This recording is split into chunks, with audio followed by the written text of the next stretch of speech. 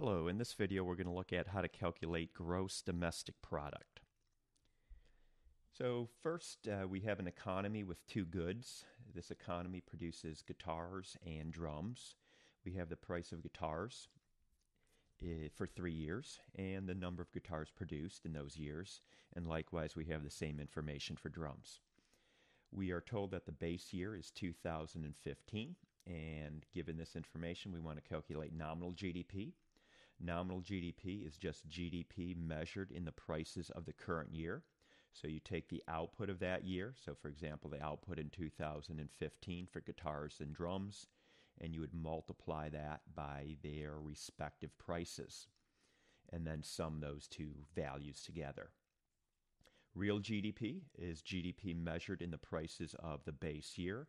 We're told that the base year is 2015, so every time we calculate real GDP, we're going to be multiplying a particular year's output by base year prices. In this case, we're going to use $500 for the price of guitars and $1,000 for the price of drums. So I show the calculations down here. Let me first go through nominal GDP. In 2015, nominal GDP is going to be the price of guitars multiplied by the number of guitars produced. So we get the total expenditures on guitars. And then we're going to add to that the total expenditures on drums.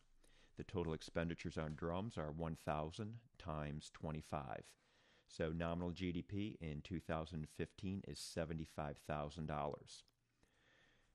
In 2016, we do a similar thing. We take the prices in 2016 and multiply it by the outputs of guitars and drums in 2016.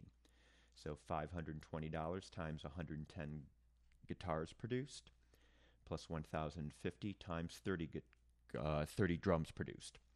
That gives us 88,700 for nominal GDP in 2016. And likewise, I do a similar thing here for 2017. Just the prices in 2017 multiplied by the outputs of those goods in 2017. Moving on to the last column, real GDP.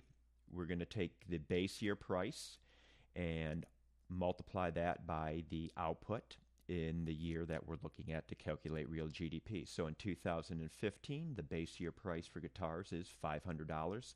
By default, that is the base year by definition in this example. So we already did this calculation over here, and it should be no surprise that real GDP and nominal GDP will be the same in the base year. That will always be the case.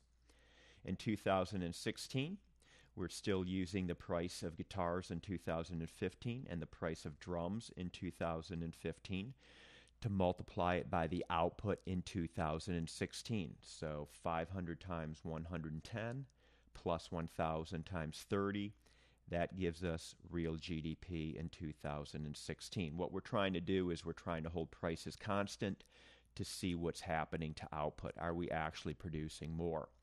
And as you can see here, real GDP increased. So this economy has experienced some economic growth. We look at real GDP to determine economic growth. And then finally, in 2017, we take the output in 2017 and multiply it by the base year price, which happens to be 2015 prices. So 500 times 112. And then we're going to add to that the price of drums times uh, quantity of drums, where the price of drums is the 2015 price once again. And we do that, and we see here again, real GDP is slightly higher at 88,000. So once again, the economy has experienced some growth uh, from 2016 into 2017.